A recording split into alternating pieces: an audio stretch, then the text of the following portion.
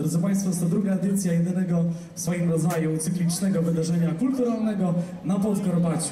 Pomysłodawcą formuły i festiwalu była niestety nieżyjąca pani e, dyrektor Justyna Pretorius-Kantorowska.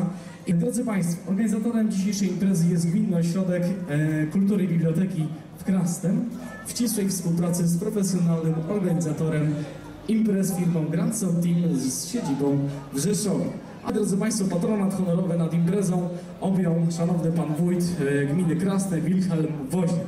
A patronami, drodzy Państwo, medialnymi, bez nich też nasza impreza by się nie odbyła, wsparcie medialne musi być, e, są Radio Wawa, Telewizja Polska SA, Gazeta Codzienna Nowiny oraz portal Nowiny 24. Z, e, naszych kochanych sponsorów. Zawsze podkreślamy to kochanych, bo bez nich, drodzy Państwo, też tej naszej wspaniałej imprezy by nie było, a nimi są firma Ania Catering, Sylweko, producent kosmetyków naturalnych polskich, firma Greenplast, producent chemii budowlanej, cukiernia Millennium, hotel i restauracja Marant Zaczernia, Express Bank, Meble Bogart, piękna strona Twojego wnętrza, Bertie Case, pro, pro, producent profesjonalnych skrzyń transportowych, Schneirex, Schneirex, Scheinerex, tu mnie poprawia pan dyrektor, producent wspaniałych krzeseł, krzeseł e, i Rzeszowski Ośrodek Wsparcia Ekonomii Społecznej działający przy Rzeszowskiej Agencji Rozwoju Regionalnego.